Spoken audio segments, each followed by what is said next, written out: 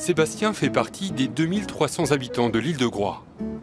Au centre, le bourg et son église, dont la girouette, en forme de thon, est le symbole du passé maritime de l'île. C'est dans ce village qu'il a ouvert sa boutique artisanale. Issu d'une famille de chocolatiers depuis trois générations, il s'est spécialisé dans le caramel.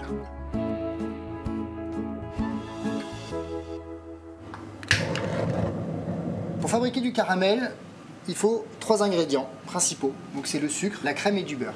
La difficulté, c'est la fonte du sucre. Voilà, parce que le sucre, c'est très sensible, ça peut brûler tout de suite. Donc il faut y aller tout doucement pour le caramel mou, surtout.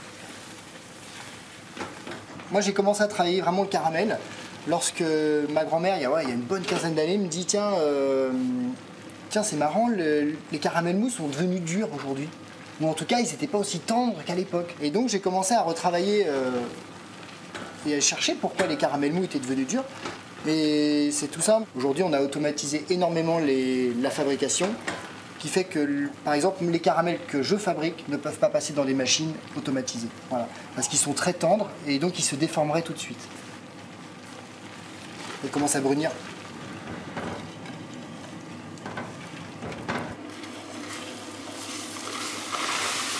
Donc ça y est, je verse la crème, le caramel était bien fondu. La crème est assez riche parce qu'elle est à 40%, donc ça vous donne vraiment une onctuosité très particulière. Donc la, couleur a commencé à bien changer là. Donc je commence à mettre le beurre et c'est justement ce qui va donner ce petit goût de noisette, c'est de le mettre à la fin de la cuisson. C'est bon.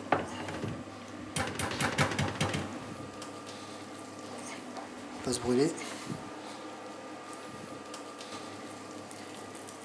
Le caramel peut varier énormément euh, au niveau des régions. Déjà, il y a la crème qu'on utilise. Euh, on a la, crème de Bretagne, n'a sûrement pas le même goût que la, crème euh, qu'on peut retrouver dans les montagnes, que ce soit les Pyrénées ou les Alpes. Et ensuite, on a l'hydrométrie et le lieu où on le fait. C'est-à-dire que ma recette, et si je fais la même recette à Paris, elle n'aura pas le même goût. Parce qu'ici, on a un air iodé très prononcé, on habite sur une île en plus. Et donc, bah, au final, ça apporte énormément mais que à tous mes produits, que je fasse des bonbons de caramel ou même du, chocolat, vous n'avez pas forcément le même goût en fonction des régions. Tac. Donc la difficulté de mon métier, c'est de goûter sa texture qui est très fondante, vous voyez. Je peux le couper très facilement. Il n'accroche pas du tout. Voilà.